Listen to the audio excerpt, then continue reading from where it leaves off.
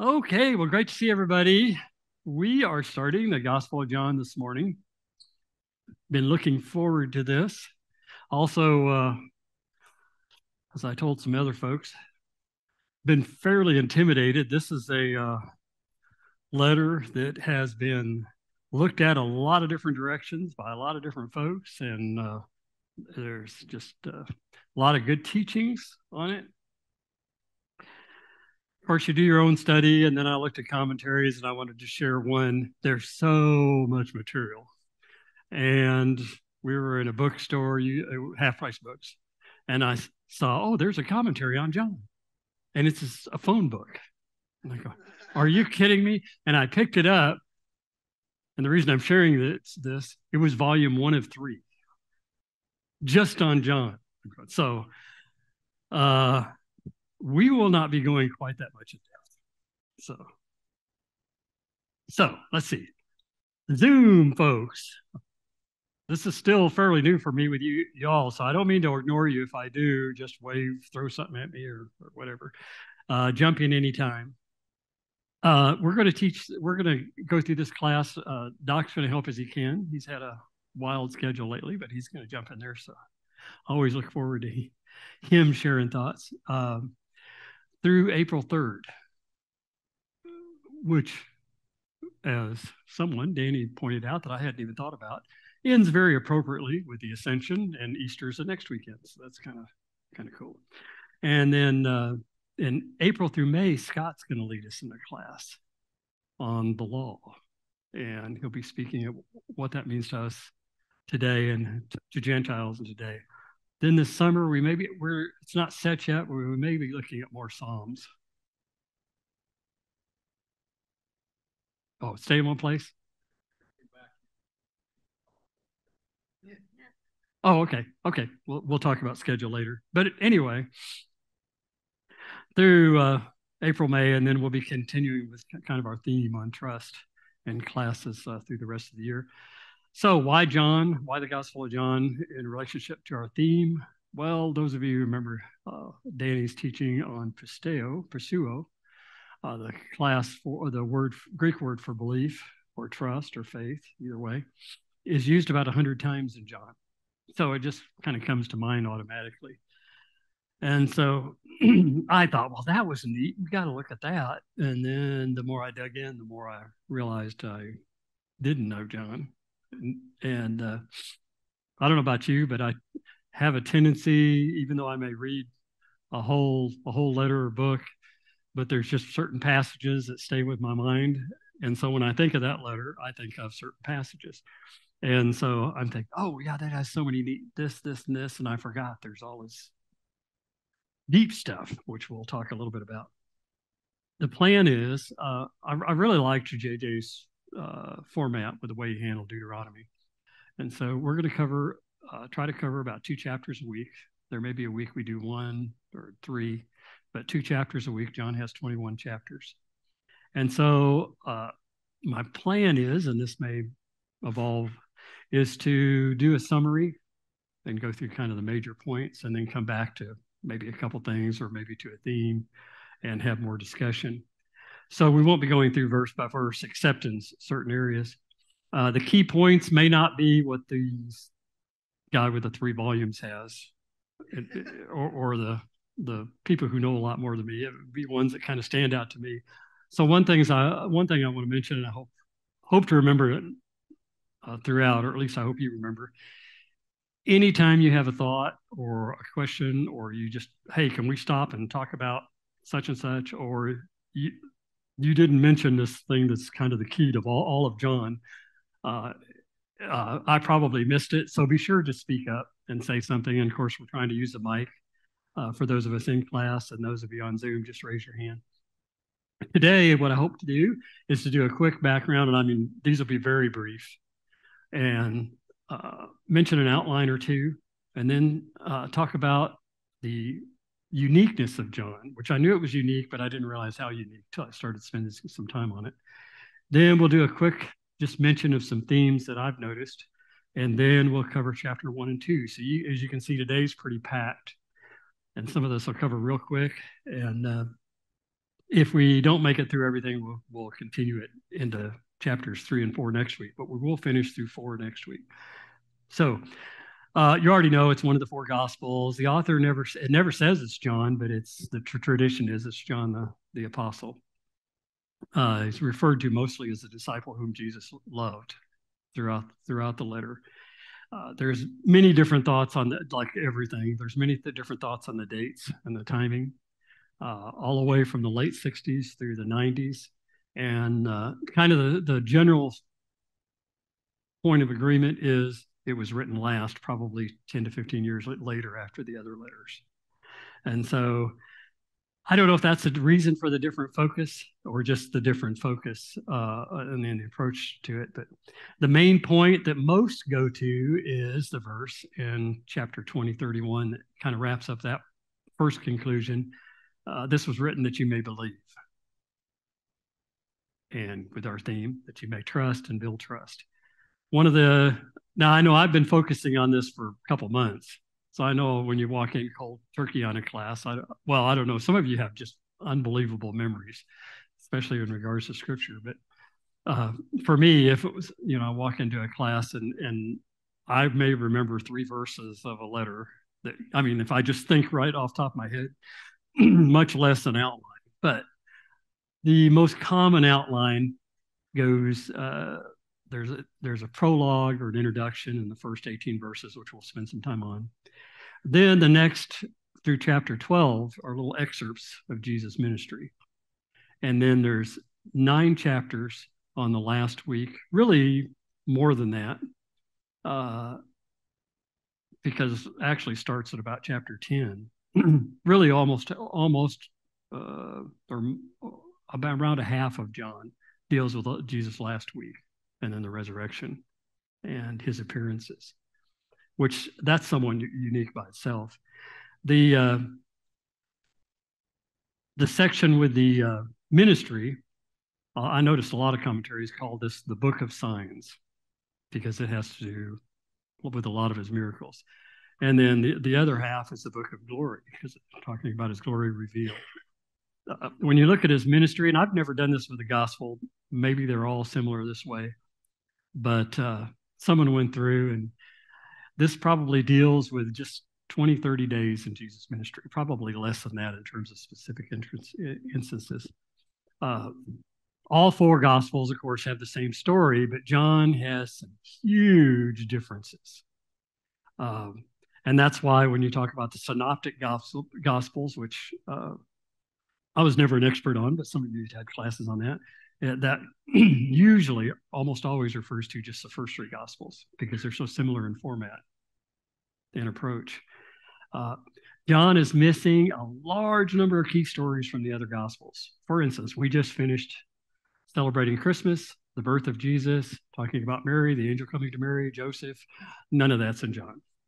There's nothing about his birth. There's nothing about Joseph and Mary. Well, there is about Mary later, but not about the birth and the angel. There's nothing about Jesus' baptism, his temptation in the wilderness, his agony in Gethsemane in the garden. Uh, there's nothing about John the Baptist as. Uh, there's none of Jesus' parables. Some people make a case maybe one or two things might be considered a parable, but none of the ones that we always go to, they're not in John. Uh, the details of the Last Supper, that's not there in John. Just kind of interesting. Then there's a whole bunch of material that's in John that we think think of all the time, or at least I do. Think of all the time when you think of the Gospels. You think of Jesus, and that are only in John, the seven I am statements. And I'm going to rephrase that a little bit: the seven I am metaphors, because actually there's more than seven I ams in John. And so, uh, for the numerologist here, yeah, Danny. Uh, I found it interesting in John. I mean, there's no question numerology was very or is very important to Jews, and it's God uses it in many ways in Scripture. There's no question. In John, I found it interesting because you could see this taken to the extreme in different viewpoints about John, like the seven I ams, and then another person would say, and the seven signs, and the next person would say, and the seven feasts, and the seven uh, witnesses and the seven testimonies. And depending on your how you read it, all of those, there's more or less. Every single one of them. There's seven signs, but if you read different commentaries, they disagree which signs. Well, we don't count this sign, this miracle, because it's really not, you know. And this miracle and the ascension, we don't count as a miracle. It's considered the culmination, or, or anyway, there's different thoughts on that. But they, it is a useful, but there really are seven metaphors for the I ams, which is interesting, and they're and they're pretty powerful. Um, but they are useful in terms of framing and remembering. You know, a lot of a lot of things that we do uh, to, to remember. Um, I'm mainly going to mention the metaphors and the signs. One thing that's pretty unique, and I'd never thought about it, is John centers a lot on Jerusalem and, and the feast.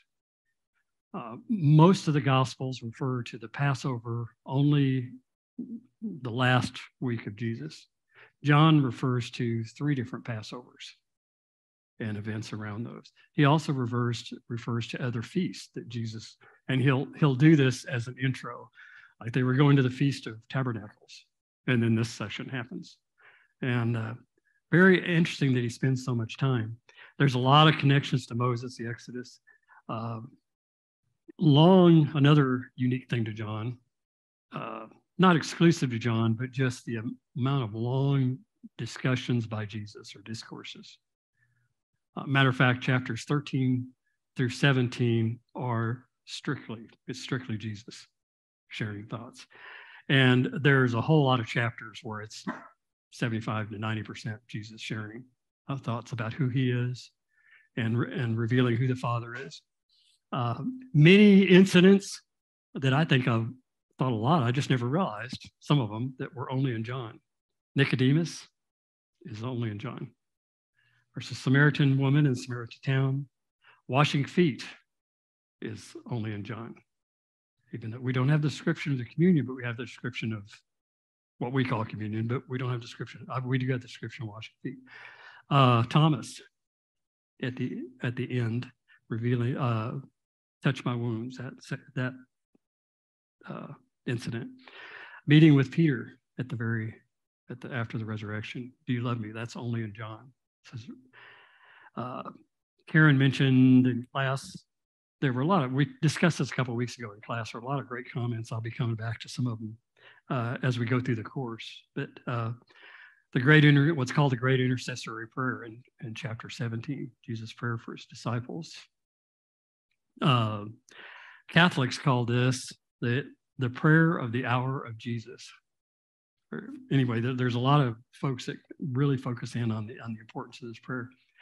Uh, the use of uh, metaphorical and symbolic language. A lot of this is in John. Not saying the others don't have it, but it's really prevalent in John. Uh, again, the seven I ams: I'm the bread, the life, the gate, the good shepherd, etc. Uh, he describes himself as living water. Uh, this temple. There's a, just a lot of language like that let's see here. Themes, good. Themes, there are so many good themes, but um, what my thinking is uh, there's deserves to spend some time on on kind of each of these or i'd like to but i'd also like not to put more into this particular class than, than we already have so what my thought is, is I'm going to mention these themes now, and then during, as we go into other classes where they may come up in that particular, those chapters, uh, then we may come back and spend a little more time on them. So one of the course belief, trust, and with it, one thing that I'd like to focus on that area is the idea of growing trust or the evolution of trust. Uh, Lawrence talked about the anatomy of trust, and I think John is just full of segments that illustrate the growth of trust. Or somebody mentioned a few weeks ago, I think, uh, I don't remember what class it was in. Maybe it was your first class. Somebody said trust is not static. I, I, I really like that word that it's not static. We're going to see this throughout John, how trust moves and grows in the people that follow him, and sometimes is a little shaky. So we will be coming back to that quite a bit. Jesus' identity, that's a major theme as we see right off the bat. Uh, one commentator I thought expressed this well. And he said, uh, first three gospels tend to focus more on what Jesus taught and did, where John focuses more on who Jesus is.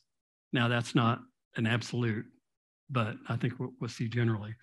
And, and John looks at his identity from many, many angles. The prologue, which we'll talk about, the long discourses where Jesus is describing himself. And uh, most of these are not teachings on, like I said, parables, for instance, but he it seems like he always leads it back to who he is in relationship to the Father, who the Father is. And so uh, they're they're really interesting. Uh, there's there are a lot of testimonies or witnesses who throughout that Jesus is the Son of God, including from God Himself. Uh, another technique that John uses is, is Jesus corrects misunderstandings, and you'll see this numerous times where somebody says, you know, I believe this. Well, if you believe this, is that the reason you believe? Well, then wait till you see this. Or, you know, he'll, he'll correct them. Uh, and then uh, the relationship with the Father, which I've mentioned a, uh, a bunch of times already, we will come back to that because that is prevalent. When I first started really digging into John, I, I kept coming to Carolyn. I'm not sure how to deal with this because he talks so much about the Father that from a, I'm thinking of the practical logistics, not the deep stuff. I feel like I'm going to be so repetitive. You know, it's just he just keeps teaching over and over, hammering it over and over and over. The Father, from the Father, of the Father, to the Father. You know, because of the Father, the authorities, authority of the Father. And as I was going through that, I noticed something, and maybe uh, won't take time on this now, but if some of you have some ideas on this thought, let me know later, and we'll try to work it into the class. We talk about that. I couldn't help but notice the phrase "the Father." Most other places, and and almost exclusively in the other Gospels, it's "my Father, our Father." In John, he uses those. But over 60 times, he says, the Father. Very specific. And it's in the Greek, the Father. It's not just that was interpreted that way. I haven't found so far anybody that really talks about this, about the significance. Now, probably it's all over. Next week, I'll find it all over the place. But so far, I haven't haven't found it. Uh, and I think that's there's a reason reason for that. And I'm not sure I understand it totally, but I think that there, or even partially, but I think there's got to be a reason for that. Another theme uh, is our time, like our has, my hour has not come. We'll see that over and over. Eternal life, uh, the other gospels, while there may be a mention of this, usually it's in relationship to one story. Let's see if I can find it here. Oh, the rich man who comes. What must I do to inherit eternal life. That phrase is there. Usually, uh, Jesus or the, the author talks about, or the letter talks about the kingdom of God is one way. And John, he uses eternal life quite often, that phrase. Just again, I'm not sure whether these are stylistic, you know, God allows different people to use their voice, you know, their and, and you get your personality in there. But just things that like the little rabbit trails, you go, does this really mean something more than what I think it means. So John 1 18. Oops, I missed something. I sure did. I want to come back to.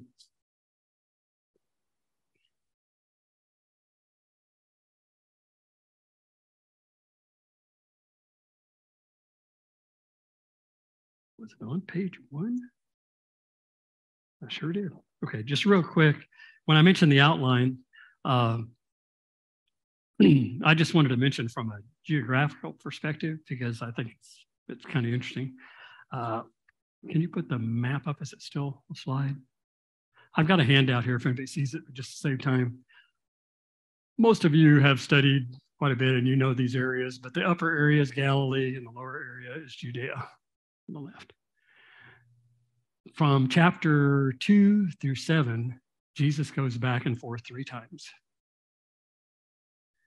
And then the entire rest of John is around Jerusalem and Judea. Like I mentioned, it's very, very, very different than the other gospels. the other Gospels, while there may be a trip to Jerusalem, it's really not the main focus till the very last week. So I think, just without spending too much time on this, I, I think it's kind of, uh, it may be just another way that John reinforces how close Jesus is to the Father. That all of these discussions and the events, almost all of them, revolve around Jerusalem and the temple.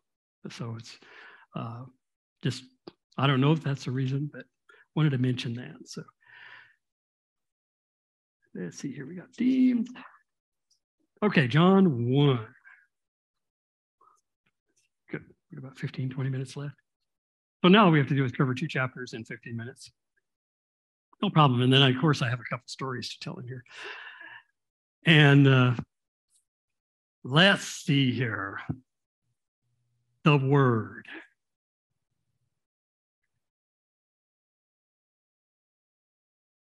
And as you know, as you've most of you know this verse, in the beginning was the word. And logos the, the Greek word for word. Uh, at first, I just wanted to write this off and not say anything because basically, logos, if you look it up, I like to look up where words are used, even if I don't know the total meaning. Logos is used all over hundreds and hundreds of times, you know, and it simply means verbal communications. I mean, it can be a passage that says, This is a difficult saying. Uh, the news about them spread if you have any word of encouragement or exhortation, that's logos or logos, depending on how you would say it. Uh, thinking about it more and doing a little more research. The yes, it was a very common, ordinary word, but it was a word also in another, from another perspective, very deep and and uh, broad in its meaning. Uh, there's a whole you can do a study sometime on what the philosophers thought at the time. That's not my area of expertise, so I'm going to just skip over that. But the, it's not hard to imagine what this word meant to Jews. And the same word is used when they translate the Old Testament, where it says word, they'll usually use, use logos in the Greek. Uh, but God spoke in the beginning in each of the seven days. And God said, uh, Psalm says, By the word of the Lord, the heavens were made through speech, through the word. So to Jews, I mean, that's, that's a powerful, maybe an ordinary word, but it's also a powerful word. Uh, the Ten Commandments, that now most of us don't use that phrase as much, or we just not use as much anymore. The ten, it means ten saying or sayings or the ten words actually. So very powerful. Thus says the Lord. That's, that's hundreds of times in the Old Testament. And so, in this context, you, I mean, while God is using, John is using a very ordinary word, he's also using a word that is really rich in meaning too, that can be taken taken a lot of ways. Um, you've been listening to me for a while, so I'm going to share. I did find uh, someone who has on on this idea of the word, someone who has a pretty different interpretation so Jen, would you, could you share that? I could go on for a while without this. You know, Danny and I were talking about how you have these epiphanies the morning before you're going to do a class or he does a sermon. So it's really hard to prepare too much in advance. 5:30 in the morning. The word. The word is the word. Okay. And Carol and I laughed. Anyway, and I don't think there's anywhere, any way that the rest of the series doesn't go downhill. I, I don't know. Uh, yeah, I'll just show that. Okay. The dance. Now that was from 1963 before my era, but isn't that wasn't that is that when you were born, Danny? Oh, 63. So I was going to say things went downhill, but things went uphill after that. Uh, those major revelations. anyway, so I have all this material and I had to waste two minutes on that, but it was just so good. So it, it just, some things just have to be done. Okay, the passage. yeah, you can never unsee that. There's probably a few of you probably crazier church Christers Christ, or is it probably Dan said at some point? I don't know. I'm not a dancer. But the bird thing, anyway. Uh, I'm not going to read this whole passage. You heard it. I, the uh, Danny had a really excellent summary of it on December 25th in Table Talk. If you want to look at the tape, uh, very good summary. Uh, there's just again lots of deep studies on this. Some people refer to the chiastic st- structure. I'm not going to go there. That it was an early hymn. Uh, there's kind of back and forth thoughts about that. Uh, of course, there's all kinds of thoughts about the the Trinity. And as you can tell by the video, I I'm not that deep, so I'm not going to go into any of those. I prefer the shallow end of the pool. But we'll, uh, but the entire section of this 18, if you if you're looking at it now, where he talks about it in the beginning was the word, and the word was with God, and the word was God, and it goes on and it just builds and builds. Is uh, time is very important in John, but he starts with a section that's kind of outside of time. It's like in the beginning, which has to evoke memories of Genesis. It, just has to, I would think. Um, Lawrence, you have a. Reinforced Genesis. And God said, let it be like it all started. He said a word. Probably not in English, but uh, it, when he first spoke, or the, the first record of God speaking is when everything started. Great, great point. For those on Zoomers, if you didn't hear the first part of that, that it references, uh, Lawrence said when it, that it references or speaks back to that God spoke creation into existence. And then John starts here with, uh, in the beginning was a word. Oh, we could spend so much time, but you can see the build up here. Beginning was the word, it was God. All things were made through him. In him was life. He was the light. Then he brings in John the Baptist. John bore witness of the light. Uh, all, of all who received the light, he allowed to become children of God, uh, not born of flesh, but God. And then, the, and the word itself became flesh. We've seen his glory and his grace. And grace of tr- and truth have come through Jesus the Christ. Just another little side note I think it's interesting as you build through this whole thing. If you imagine listening to this, if you didn't know, if this is your first time hearing, hearing or reading the gospel, Jesus is not mentioned until verse 17. Kind of, I just thought that was just this, with the idea this is just huge buildup. And Jesus, and I'm going to say, is the Christ, because I think that's a little more accurate when we refer to Christ. Um, so it's hard not to think of Genesis. One, another side note, those of you saw a movie, this So-So Noah in 2014. There's a scene in there that I that I remembered that I it just always stuck with me. Knowing Noah sharing with his family, and it's kind of dire, dire times. It's bad times, and he he shares with his family around campfire the creation story. And there's a video in that that everybody made a big deal because it kind of hinted at evolution, but that's always kind of stuck with me because you think of the oral tradition passing down history and narratives that how comforting that must have been to hear that story in hard times throughout throughout the ages in the beginning. And i can imagine there's a little bit of that with john's all through john's letter but in particular these 18 and not only was it a powerful statement it's an encouraging statement that can you imagine you're going through persecution, you're going through whatever. If if you're a Jewish Christian, it's still it's got to be unsettling, even though maybe even don't whether you go or went or not to Jerusalem anymore. The idea that the, the temple had been destroyed and Jerusalem had been destroyed. Yeah, and then now you're being persecuted as a Christian. All these different things happening at the time, and then you hear in the beginning was the word, and I I think that could apply to us in difficult times to just stop and think. Or if you can imagine somebody reading those words when we're going through dark times. In the beginning was the word. So it's a word, word of comfort to me too. Um, let's see. I think that's all we're going to say about that. We're going to fly through a lot of the rest of this because I do want to try one more part. Uh, and I'm going to break this into little transitions that you'll notice I've highlighted. Uh, and this is the testimony of John. I, I bolded that, not highlighted, but bolded down in 19. So we just have a quick reference to the, the Jews send priests and Levites to question John. And we we will mention this again too, but this is the first reference in John uses a uses a term called the Jews.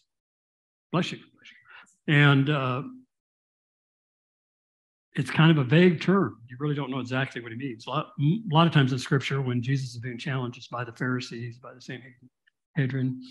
Uh, the Jews sent, sent a group uh, to question John about who he is. And he says, I'm not the Christ. They asked him about that. I'm not Elijah. I'm not the prophet, but I'm the one who is a voice speaking out in the wilderness about becoming Messiah from, from Isaiah.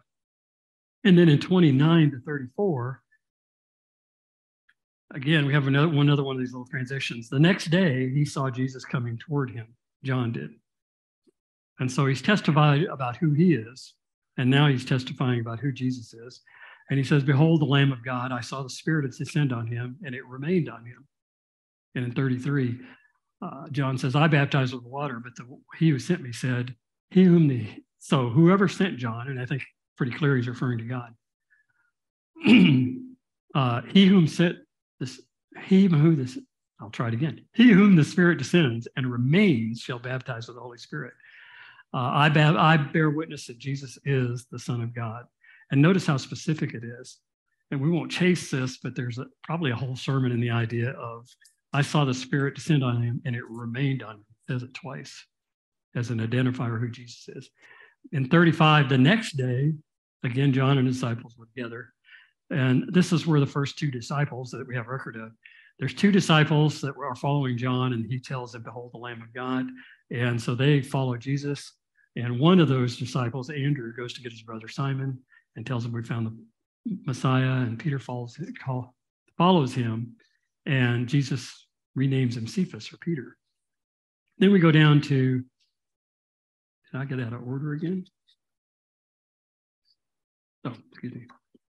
Um, yeah.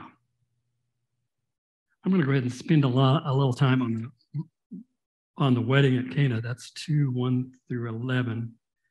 And uh, on the third day, there was a wedding. So see, you see how John shifts locations a lot of times by uh, by just using a time reference. Now, most of you know the story really well. There's a wedding. Jesus and disciples and Mary were there. They are running out of wine. Mary comes to Jesus and tells him to take care of it. And Jesus turns water into wine. And uh,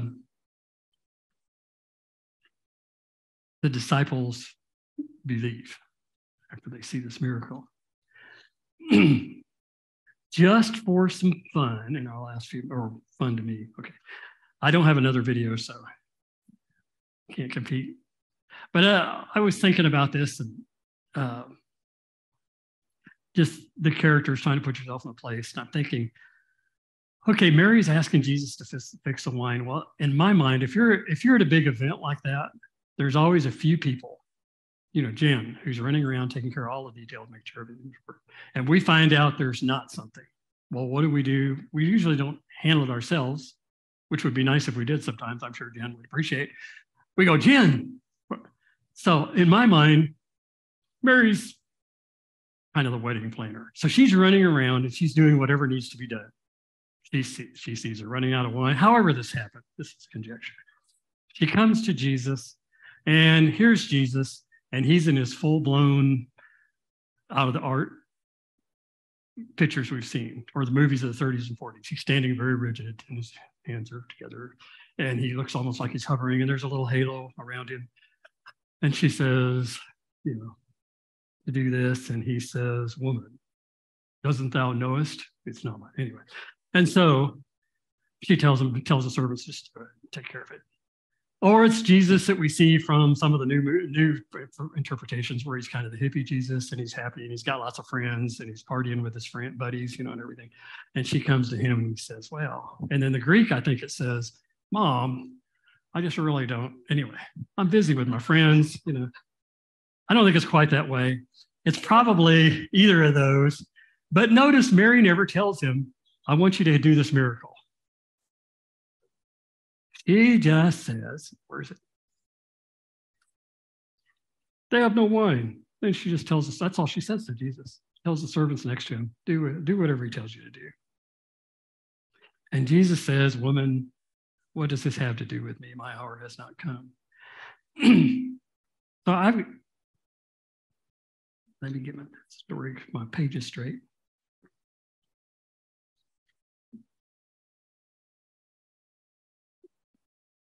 I thought about this. Danny and I were talking about it. This is not, this can't be Mary's first rodeo with Jesus.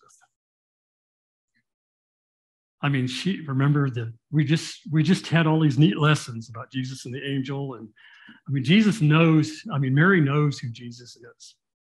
More than like, I mean, he's supposedly around 30 years old. More than likely, he's done a few things she's starting to know, or she knows his power and who he is.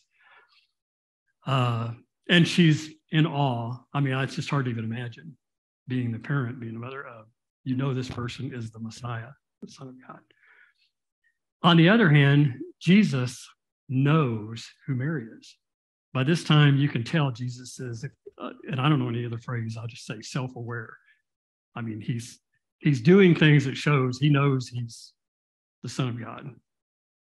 Uh, when he calls uh,